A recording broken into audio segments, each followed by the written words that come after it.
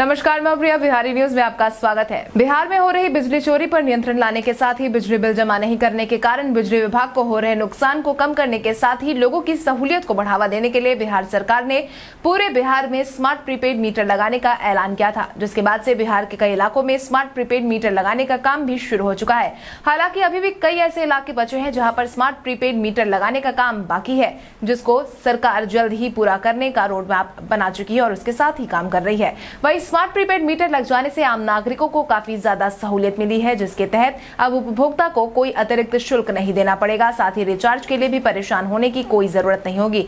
इसी कड़ी में हम आज आपको एक ऐसे एप्लीकेशन के बारे में बताने वाले हैं, जिसके इस्तेमाल से आप आसानी से अपने स्मार्ट प्रीपेड मीटर का रिचार्ज तो कर ही सकते हैं, साथ ही अतिरिक्त पैसे देने से भी बच सकते हैं। वर्तमान समय में ऊर्जा विभाग की तरफ़ से राजधानी पटना के अपार्टमेंट में स्मार्ट मीटर लगाने का काम जारी है। वहीं उद्योग विभाग की तरफ़ से जारी किए गए स्मार्ट मीटर ऐप के माध्यम से उपभोक्ता अब अपनी ज़रूरत के हिसाब से रिचार्ज कर पाएँगे। इसके साथ ही अब जितने घंटे या जितने दिन बिजली का इस्तेमाल नहीं होगा, इसमें ऊर्जा की बचत तो होगी ही, साथ ही उपभोक्ता के पैसे भी बचेंगे। कई बार ऐसा देखा गया है कि जब ग्राहक को बिजली बिल थमाया जाता है तो वो इस बात से हैरान नज़र आते हैं कि इतना बिजली की खपत आखिर उन्होंने कहा की और कैसे कर ली। हालाँकि अब स्मार्ट मीटर ऐप के माध्यम से आपको इस बात की पल पल की जानकारी मिलेगी कि आपने कब कितनी बिजली का इस्तेमाल किया है। इतना ही नहीं, अब उपभोक्ता इस ऐप के माध्यम से फ्री चार्ज शिकायत आदि सब कुछ आसानी से कर सकते हैं। इसके साथ ही स्मार्ट प्रीपेड मीटर के रिचार्ज की राशि खत्म होने के तीन दिन पहले अब उपभोक्ताओं को मोबाइल नंबर पर रिचार्ज खत्म होने की जानकारी मिल जाएगी,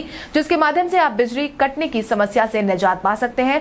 सबसे खास बात यह है कि अक्सर बिजली कटने के बाद आपको बिजली विभाग के चक्कर काटने पड़ते थे, लेकिन स्मार्ट प्रीपेड मीटर लग जाने के बाद अगर कनेक्शन कट जाता है तो फिर से रिचार्ज कराने के लिए अतिरिक्त समय भी दिया जाता है और यह मोबाइल की तरह काम करता है। इसको लेकर साउथ पावर डिस्ट्रीब्यूशन के महाप्रबंधक दिलीप कुमार सिंह ने अपना बयान जारी किया है, जिसके तहत उन्होंने बताया कि पहले लोगों में काफ़ी शिकायत मिलती थी कि समय पर बिजली बिल नहीं मिल रहा है। ऐसे में स्मार्ट मीटर लगने से लोगों को सहूलियत होगी। साथ ही बिजली विभाग द्वारा जो ऐप बनाया गया है, उसके माध्यम से लोगों को बिजली बिल नहीं मिलने की समस्या खत्म हो जाएगी। उस ऐप में पूरी व्यवस्था है। ऐप के माध्यम से लोग बिजली बिल निकाल सकते हैं और जमा कर सकते हैं। उस ऐप के माध्यम से ही सब कुछ किया जा सकता है। इसके साथ ही उन्होंने बताया कि पटना पीसी के द्वारा लगभग सत्तर हज़ार मीटर लगाए जा चुके हैं। प्राथमिकता के आधार पर बने अपार्टमेंट में स्मार्ट मीटर लगाया गया है। अब लोगों के घर में भी स्मार्ट मीटर लगाने की शुरुआत हो गई है। विभाग के द्वारा लगातार मॉनिटरिंग की जा रही है कि लोगों को बेहतर नेटवर्क मिल सके और इसका ट्रायल भी चल रहा है। ऑनलाइन बिलिंग सिस्टम को दुरुस्त करने की भी तैयारी है। स्मार्ट प्रीपेड मीटर आज के समय में वक्त की मांग है। समय के साथ सब कुछ स्मार्ट होता जा रहा है। इसी कड़ी में बिजली बिल उपभोक्ताओं को भी स्मार्ट बनाने की पहल शुरू हो गई है। स्मार्ट प्रीपेड मीटर के लग जाने से अब उपभोक्ताओं को बिजली बिल भरने में परेशानी नहीं होगी। साथ ही जितना बिल भरेंगे, उतनी ही बिजली का इस्तेमाल कर पाएँगे। वहीं बिजली विभाग को भी इस नई तकनीक से बड़ी राहत मिलेगी। साल दर साल बिजली बिल जमा नहीं करने वाले लोगों की संख्या बढ़ती जा रही है, जिसके कारण बिजली विभाग पर बढ़ रहे बोझ को अब कम किया जा सकता है। इसके साथ ही आज के इस वीडियो में बस इतना ही। तब तक के लिए धन्यवाद।